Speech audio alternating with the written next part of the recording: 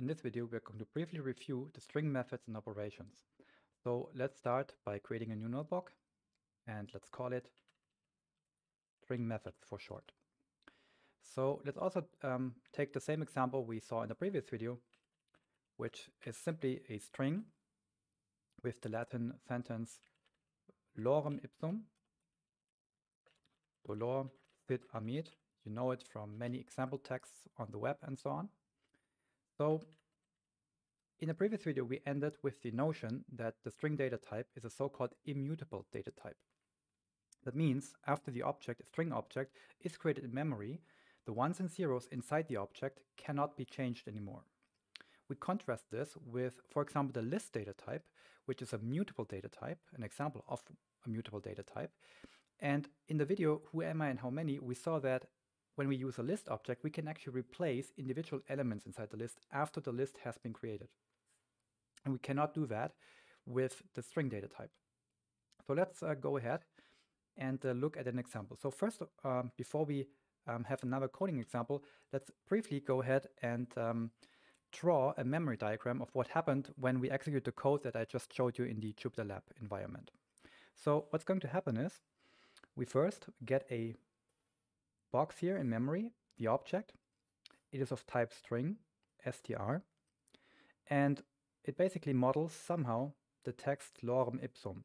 So let's put that in here. And then after the object is created, we assign the name text in the global scope to this object. So what does it mean for this object here to be immutable? Well, it means nothing that is or anything that is in here can never be changed anymore. So let's change it, or let's presumably change it. So let's go ahead and use a string method that we have seen a couple of times before. For example, the lower method. So I'm going to invoke the lower method on the text object here. And uh, we get back text that is lowercase. Okay, the entire sentence now is lowercase. So basically the uh, only thing that changes is the, the starting L, which is which, which goes from uppercase to lowercase. So if we go ahead and um, we go ahead and simply look at what text is after we invoked the, the lower method, we see that text is still uppercase here. So in other words, text itself has not been changed. This is how we see that in code and the output uh, in Jupyter Lab. But let's see what's going to happen in the environment in the memory. So when we call the, in, in this case, the lower method that is attached to any object of type string, what is going to happen is we get back another object, of course also of type string. And here, lorem ipsum will be written with a lowercase l. And now we are basically getting a reference to this object back. And in our example, let's look at the code here. In uh, the, the third cell here, what I'm going to do with the return value of the method, I'm not doing anything with it, right? We are not saving it away. But let's assume we are going to um, save that in a variable, let's call it lower simply. Now, if we go ahead and look at the lower variable, it is basically the object that was created in the step before. And let's assume this is what we did um, here in the memory diagram. Well, what this is going to do is it will create a new variable in the um, global scope called lower. And this is now going to reference uh, this object here. Okay, but the important idea is that we now have two objects. Very similar indeed, but two objects. So let's um, take this one um, step further. So let's go ahead and take the lowercase object and uh, let's go ahead and lowercase it one more time. So on the lower object, which is a string object, I'm going to invoke the lower method, which also gives me something back. Now, in the extreme case, in this case here, in the edge case, so to say, where the word is or the sentence is already all lowercase, what is going to happen in memory is the following. We get back another object, also of type string for sure, also within it lorem, lowercase. We get back a reference to this object, and this time we are not going to store it away. So that means, since we don't store away a reference to it, well, at some point in the future, the garbage collector will come uh, along and will simply remove this object from uh, the memory again. So for those of you who watch this video and may have some previous knowledge in Python, maybe some expert knowledge as well, you may wonder that, does this really happen? And the answer is no. So in this case, because we're not changing it, we get back the same object. However, the best way to think of how these objects work in general is to assume that whenever we invoke a method, we get back a new object with, in this case, has the same, the exact same ones and zeros inside them as the, the previous one. Okay, that is basically the mental model I want to give you with, so that if you use this way of reasoning about code, you will always get the result in your program that you expect. Okay, so the memory diagrams is always a, little bit of a simplification of what is going on really in the memory, but this is the um, mental model that I want you to get. Okay, so that is um, what um, is um, yeah, that is usually what we see uh, when we call methods on immutable um, objects. So what do we what do I mean by that? Well, whenever we call a method on an immutable object, and the string data type is only one example of that, then usually the method is going to return to us some other object. And we will see in a future video when we talk about the list data type in detail, a mutable data type, then we will see that methods that change an object in place they don't have a return value. That is a big conceptual difference, okay? So we note down um, that a method called on an uh, immutable data type usually has a return value, and this could be an, uh, another object with the same ones and zeros, the same semantic value. Okay, so that is uh, an important idea here. So let's go ahead and uh, look at a couple of other methods. So for example, um, text objects, so string objects, have a method on them that is called find. And find can be um, used to find, in this case, um, either an individual character or maybe a so-called substring inside the, the text object. So let's go ahead and try to find, um, let's say, the letter O. And if um, we look um, at the uh, at this version of the text above, so the uppercase version, the title case version, then what we see is the first occurrence of the lowercase o is the second um, character in, in the word or in the sentence here. So we get back the index 1 because by now we know that Python is zero based, so the index 1 means second position here. So now let's go ahead and see what is going to happen when we look for um, some character that is not even uh, in the string. So let's look for uppercase x, for example. And here we get back negative 1. So the negative 1 is what a programmer would refer to as a so-called sentinel value. So it's a value that in the context of the find method does not have a real semantic meaning. So um, what does it really mean to be uh, at index negative 1 here? Um, so the negative 1 is just a, a dummy value, a so-called sentinel value that indicates that the character here um, is not in the, um, in the string. Now you may wonder, negative 1, as we saw in, in the previous video, could be the index negative 1, which would be the first character, because we're talking about strings, coming from the right-hand side, right? So it would be the dot. So let's uh, compare that. Just a re little review. If I take the text object and I index into that with negative 1, I get back a period. I personally don't like that we get back negative 1 here. So this is um, what I would uh, actually prefer, that is my taste um, of a programming language, is that I would get an error message here, right? So one of the red error messages. Why would I personally prefer that? Well, if I get back a negative one, um, an, an object, so in this case negative one, that could be somehow interpreted, in this case, as an index, then this could be a source of semantic errors in your programs. Because you're looking for some character, and the, the computer uh, program does not find it, it gives you back negative one. And maybe you are going to use whatever result you get from the find method in the next line of code to index into something. And then it's still going to work because negative one is unfortunately a valid index. So I would personally prefer to get a so-called loud error message. So a loud error just means um, the program just complains to you and it stops basically. And we could, we have seen in another previous video, um, how to handle such errors, right? Using the try uh, statement, uh, the try except statement we can always use to catch errors and do something only if uh, the error occurs. Um, however, here we get back um, what I sometimes in my notes refer to as a silent error. So it's not really an error here, it's just Python's way of saying we didn't find something here. But um, you have to simply have to be careful, right? Because negative one could be interpreted. It, it, it also works as an index. That is the big problem here okay?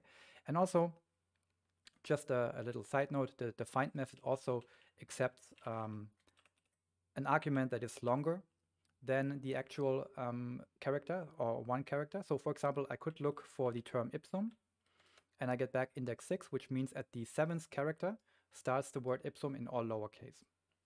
And here also maybe a variant. Um, let's say if you want to look for the first O that comes after the first O here. So let's say you want to look for the second O in this text object, what you could do is you could uh, provide the find method a second argument which is the start value. So let's provide the start value 1. We also get back 1, because if we start to look at index 1, then we will find the same O.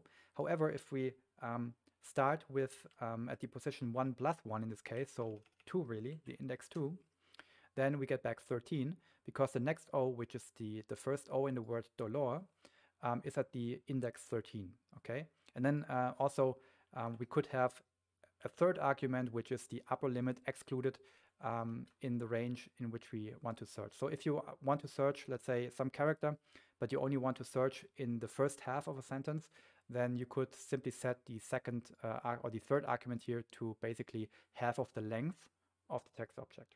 Okay, so um, you have to be a bit careful here, but you can use the find method in all various ways. You probably are going to need it for one of the exercises, so um, just get used to that, but um, that is the find method.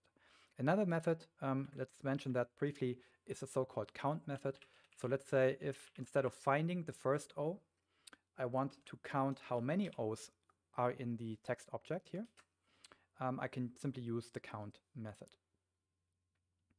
Okay, so a couple of um, other methods um, that I don't want to show here because we have seen them in previous videos, are of course all the uh, methods that regard uh, the lower and upper casing. So there is a dot lower method as we saw above, there is a dot upper uh, method as well, there's a dot title uh, method. Um, another method, uh, string method that we have seen previously is, for example, the split method, uh, the, the, strip method, sorry. The strip method strips away leading and um, ending white space. And then comes a method that we have not seen in this course, which is the split method. So if I say text.split, what I get back is a list of the individual words in the sentence. So how does the split method work? The split method by default, so if I don't give it an argument, so by default, it simply goes ahead and takes whatever um, text it is invoked on, and it simply um, splits the, the text um, into, um, into many other string objects separated by white space. So whenever in the actual sentence here, let's say text, there is white space in between something, the white space is used as the, the default delimiter. And now we get back, um, as we see, um, a list of string objects. However, you could also go ahead and uh, give the split method an argument. So let's go ahead and let's split at all the O's, for example, and then I get back a list where um, all the remains um, um, outside the O um, are there. And of course, so for, um, for example, the white space is now part of the word here because white space is not a it's not a delimiter here. So we basically are doing something that in this case would probably not be very meaningful, but sometimes you want to split a long string, um, not by, uh, by white space. So another uh, very popular example probably is assuming you have watched the previous video or the video two videos ago, um, where we saw that we can create a multi-line uh, string or um, where we also saw how to load in um, you know, uh, the entire contents from a text file from disk, you could basically split in a, a big string um, at the new line characters and then you get back a list of all the lines. This is also sometimes very useful. And also something that um, may be useful is the following. It's the opposite of split, it's the so-called join method. So let's go ahead and create a list first. And let's put in the list um, a couple of words like this will be a sentence. Let's do it like this. And it's also, maybe let's leave it the other way. So this is just a list of strings. Okay. And let's say I want to join these words together. What I could do is, and now um, comes into play that uh, what I showed you when we uh, started the discussion on strings, I showed you that it's uh, sometimes uh, very valuable to simply use a so-called empty string. So um, starting and ending double quotes. And on the empty string, which is a this is a literal which evaluates into a string object. You can of course call methods as well. So let's call the dot join method on it. And the join method takes as an argument an iterable and a list object is an iterable. So we can loop over it. And then what it's going to do is the join method is going to join together um, the words from the list from the iterable and as the delimiter, it's going to use whatever we give it here. Okay, so in this case, the empty string, so nothing basically. So this would be this would be basically joined together into one string without any spaces. And now if you go ahead and instead of the empty string, I give it a string with one space in it, I get back um, one string object. So previously I have one, two, three, four, five string objects in a list, but now I get back one string object that is important um, that has that consists of all the words joined together. Okay, so this is often uh, something that you see um, when um, yeah you want to um, before you want to print something out. Let's say you are given some parts and you want to join them together before printing out. You often see that in real life code. So let's continue and let's assign that to a variable. Let's say sentence, and let's simply also um, look at what sentence is. And let's say I want to replace something in a string. What you could do is you could use another string method the so-called replace method. So let's invoke the replace method on the sentence object here. And let's replace the word um, will be, so these two words, let's replace this series with simply the word is. Now what I get back is the word this is a sentence. Okay. However, one thing that I just want to remind you of, if we look at the actual sentence, uh, we still have will be in it. Okay, and the reason why is, as we learned at the beginning of this video, the string data type is an immutable data type. Therefore, methods that uh, give back some version, some probably um, um, yeah, um, other string, a string that is derived from the, the string on which we invoke the method, then we always get back a new string object and we never get back the same object as we invoke the method on with a different value in it, okay? So that's uh, kind of important here. Um, this is also what you see here. Okay, the, the methods above, uh, some of them returned indices not quite naturally, but here we have another example um, of um, a method returning another string that is basically a version of the actual string we started with. And because um, the string method or the string data type is immutable, we get back a new string object. Okay, that is the replace method. And uh, in the notes, you will find a couple of more methods that are not so uh, popular. So I will leave it up to you to read it, but these are the most important methods uh, on a string. And now let's look at something uh, very much related to methods, but still different. Let's look at um, operations, so string operations. So whenever I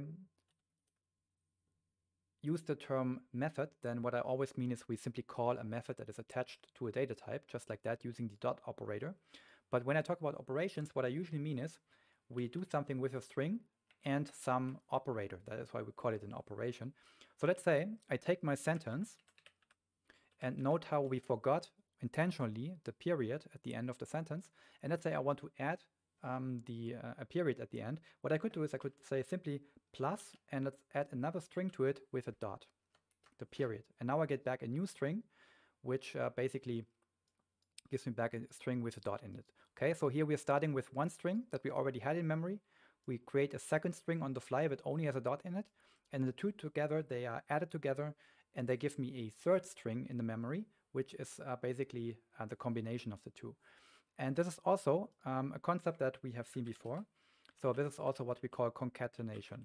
So before we called it list concatenation because we saw it in the context of list objects.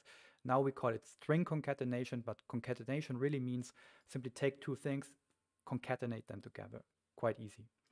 And of course, what we saw with list uh, concatenation was that we could also multiply something, multiply a list object. Now we can also multiply with integer numbers any string object. So let's maybe go ahead and um, multiply uh, the string hi like this. We get back five highs.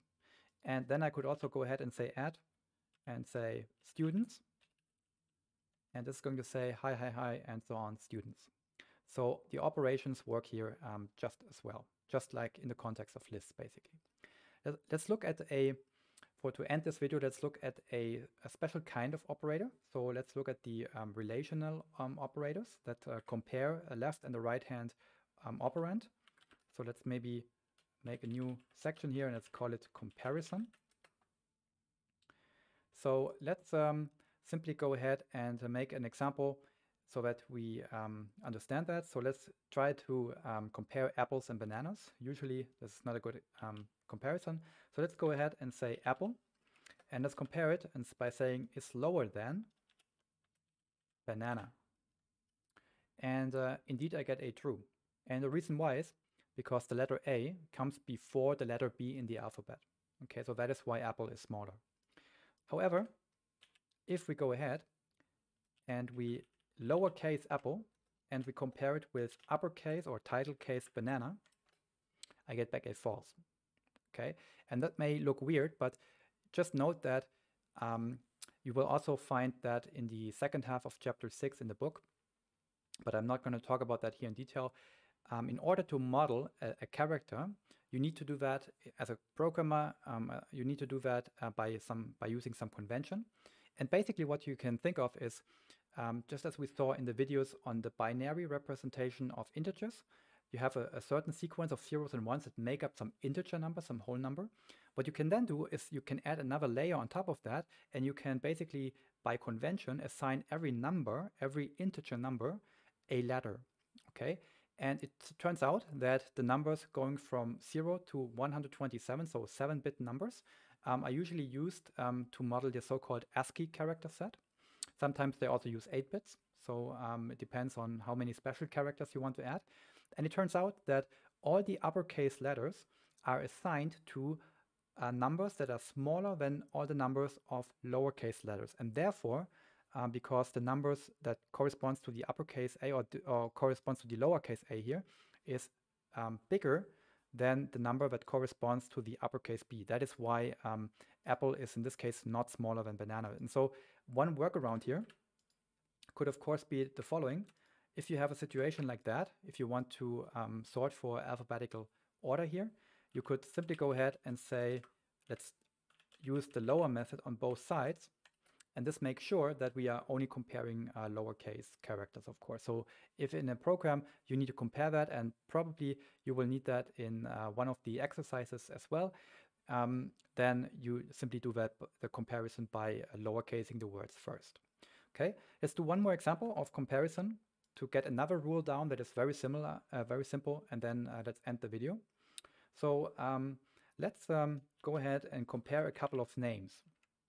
These are going to be German names um, because that uh, is the example I just uh, could made up, could make up easily. So let's compare the name for May, the month May, which is Mai in German.